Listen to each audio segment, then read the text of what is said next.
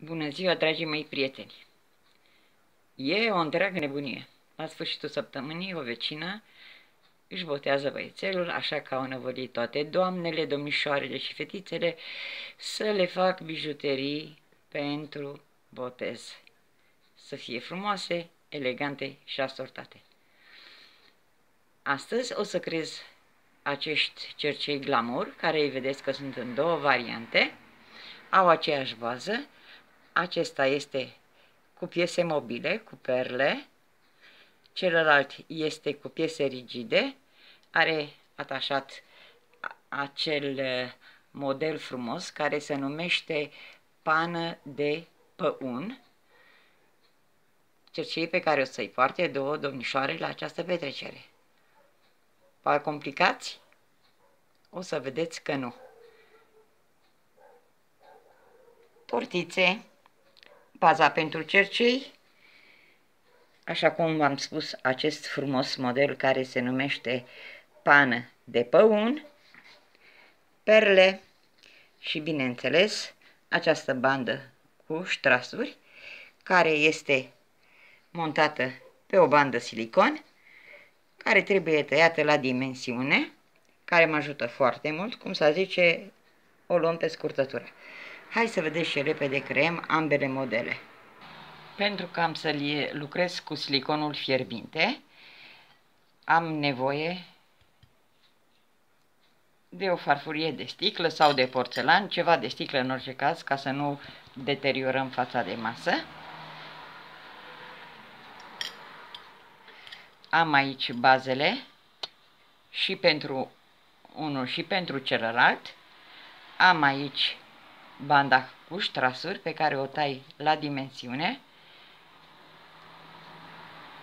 și care se încadrează perfect pe cadrul acestor cercei și producătorii aleg să execute piese care să fie compatibile una cu alta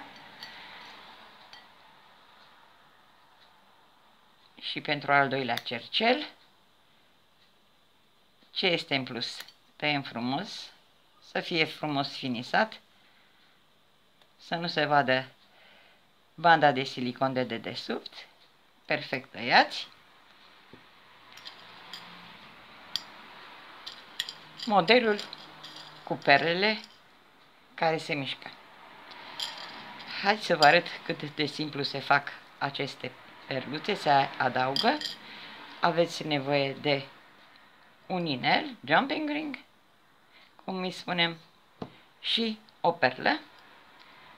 Vom desface acest inel și o să vi-l arăt aici în mână cum se montează, pentru că va fi mult mai ușor decât acolo pe cercel și nu o să-l observați.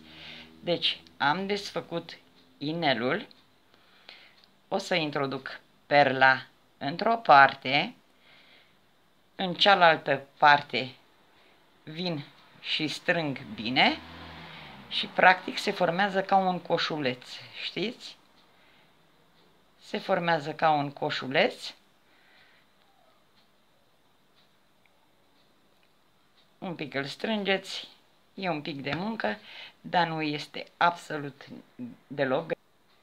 Așa, și într-o parte și într-alta și pe urmă veniți puțin cu cleștișorul și strângeți și va sta foarte frumos agățat în acest ineluș. Acum o să-l pun în acel ineluș pentru că nu ar fi fost atât de vizibil dacă îl, îl puneam în mână și nu-l observați, pentru că este mai greu când sunt mai multe piese în jur des, desfacem inelul metalic, introducem perla într-o parte și venim cu brațul celălalt în celălalt orificiu, strângem și asta este tot. Pentru siguranță că este foarte bine strâns, mai strângeți un pic cu cleștișorul stânga și dreapta Și uitați, sunt gata. Prima pereche din atât a stat. O să le adăugăm agățătorile imediat. O să lipim banda noastră silicon cu ștrasuri, să vedeți cât de repede merge.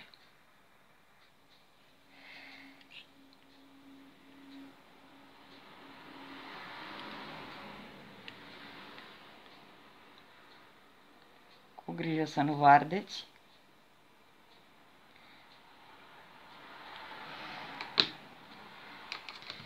Alegeți-vă modelul cu ștrasuri sau cu sticlă sus, cu oglinda sus. Eu am mers pe varianta cu oglinda sus. Așezați bine și fixați toate colțurile să nu se vadă rama de dedesubt, să nu se vadă baza pentru cercei. Bun. Perfect. Întoarceți pe spate și fixați în fiecare colț un gram de adeziv ca să aveți certitudinea că nu se vor desface niciodată. Deși par delicați, vor fi solizi și vor rezista multă, multă vreme. Lăsăm să se usuce, pe urmă vom curăța firele de silicon. Aici jos voi lipi penele de păun.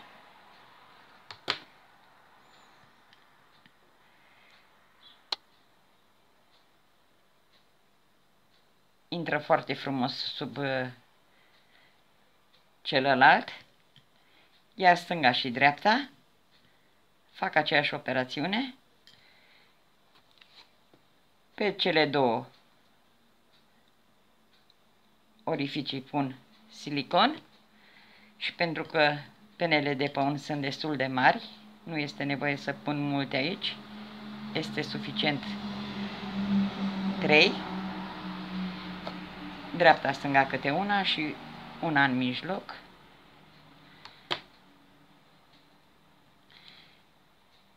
Îmi place să licurez cu siliconul că se lipește repede, se lucrează frumos, dar mă enervează când trebuie să scurăți firele, dar asta este cea mai mică problemă. Ia uitați-vă, deja acesta este gata. Desfac inelul, îi pun tortița și prima pereche de cercei este gata. A fost greu? Nu. Nu este greu. E un lucru de finețe, necesar ca doamnele noastre să fie frumoase și elegante și fetițele noastre și nepoțelele noastre să se simtă bine și să fie fericite. Doar pentru ce trăim? Pentru copiii noștri, nu? Ia uitați. Coadă de păun. Cercel de ocazie. Acum îl terminăm imediat și pe celălalt cu perlele mobile.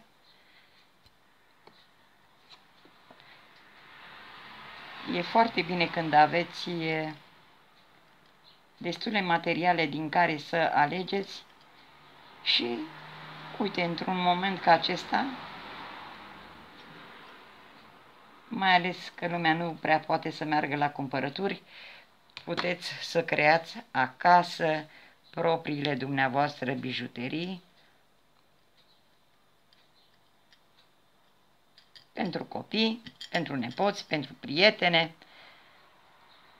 eventual câștigați un ban în plus. E un hobby extraordinar de plăcut, calmant Ia uitați-vă și acesta este gata. Tortițele. Deși toată lumea știe să pună tortițe, hai să arătăm totul cum merge de la cap la coadă, că nu este greu. Uitați-vă, vă rog, n-au trecut nici 9 minute și ați făcut două perechi de cercei pe care puteți să-i comercializați cel puțin 15-20 de lei bucata, perechea, scuzați-mă, un hobby plăcut care poate fi uh, chiar folositor. O să tai siliconul care s-a răcit În plus, totul să fie estetic și să aibă, cum se spune, acel aspect comercial. Nimic să nu se vadă din munca pe care ați făcut-o. Și în 10 minute am făcut două perechi de cercei coadă de păun. Cea cu piese mobile cu perle și cea cu pană de păun. Doamnelor și domnilor, nu-mi rămâne altceva decât să vă urez distracție plăcută.